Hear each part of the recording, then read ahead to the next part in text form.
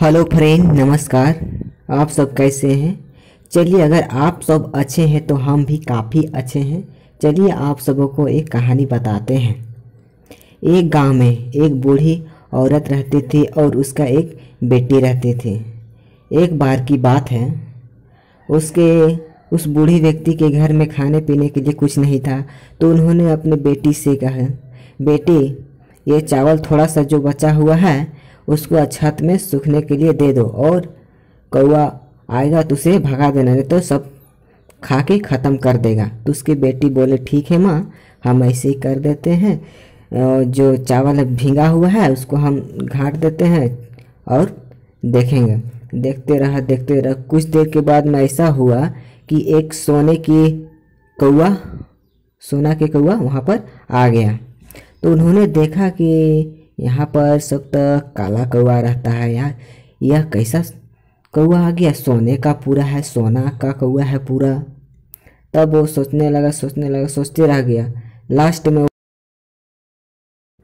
वह बच्ची कौवे से बोलता है, ए कौआ आप कौन हो? कहाँ से आए हो? ऐसा कौआ तो हम कभी नहीं देखे हैं। और आप मेरा सारा चावल खा गए हैं। अब हम रात को क्या खाएँगे? यह सुनकर वह कौआ बोला, हे लड़की, तुम दुख क्यों हो रही हो? मुझे भूख लगा, मैंने खा लिया आपका चावल।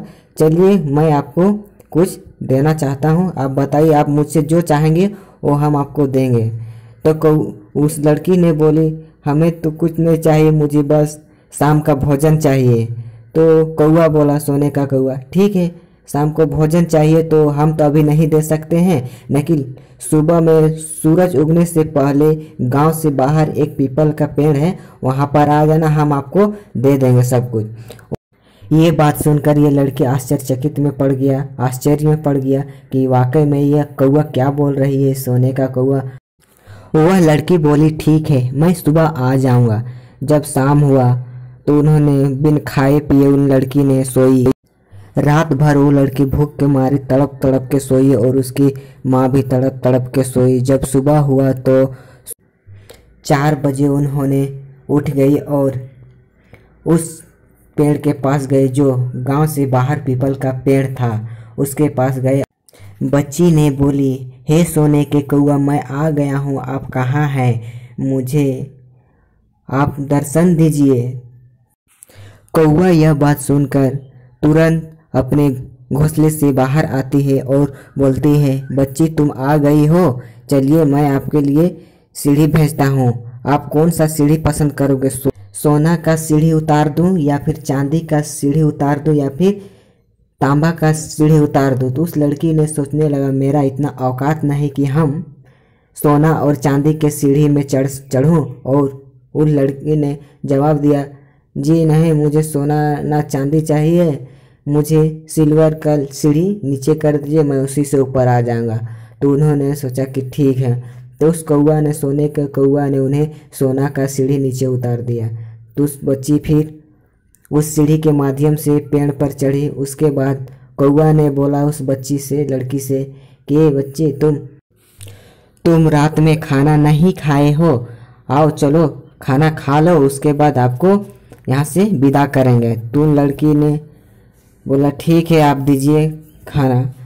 तो कौआ बोला, आप कौन सा थाली में खाना पसंद करोगे? सोना का थाली में, चांदी का थाली में, या फिर तांबे के थाली में? लड़की ने फिर वही जवाब दिया, ना ही मुझे सोने का थाली चाहिए, ना ही मुझे चांदी का थाली, बस मुझे तांबा का थाली में खाना परोस दीजिए, मैं उसी में खा लूँगा।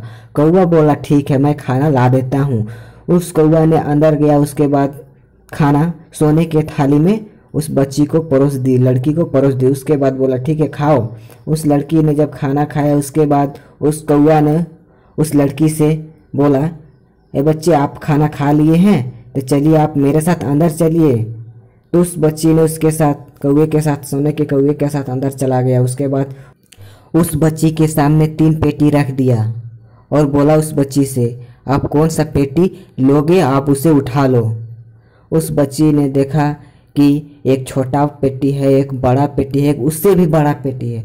तो उन्होंने सोचा कि न, नहीं नहीं हम ज़्यादा बड़ा पेटी नहीं उठा सकते हैं क्योंकि हम जितना का मेरा जितना का नुकसान गया है उतना ही का मैं उठाऊँगा। उस उन लड़की ने छोटा पेटी को उठाया और वापस घर आए। घर आने के बाद उन्होंने घर में आकर अपने बूढ़ी माँ के साथ वो बक्सा को खोला उस पेटी को खोला। तो वहाँ पर बहुत सारे धन दौलत पैसा शोहरत गहना गोरिया उस गहने को बेचकर वो बूढ़ी औरत और उसकी बेटी बहुत अमीर हो गए। इसी प्रकार से और वो दोनों खुशी से रहने लगे।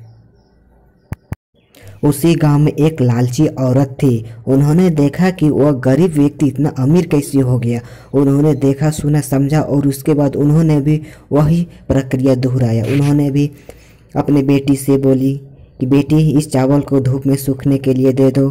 सूखने के लिए दे दिया उसकी बेटी ने उसके बाद देखा कि वहाँ पर भी वह कौआ आया, सोने का कौआ सोने के कौआ से भी उन्होंने मदद मांगी कि आपने मेरे चावल खा गए हैं, मेरे पास खाने के लिए कुछ नहीं है।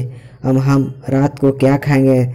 यह सुनकर वह कौआ भी सोचने लगा और बोला, ठीक है, आपको ऐसा बात है, खाने के लिए दिक्कत है तो हम आपका भुगतान अभी नहीं कर सकते लेकिन आप सुबह चार बजे सूरज उगने से पहले गाँव से बाहर एक पीपल का पेड़ है, वहाँ पर आ जाना। जब रात हुआ, उन्होंने सोया, उसके बाद सुबह ठीक जितना टाइम बताया था, चार बजे, उन्होंने पीपल के पेड़ गाँव से बाहर चला गया।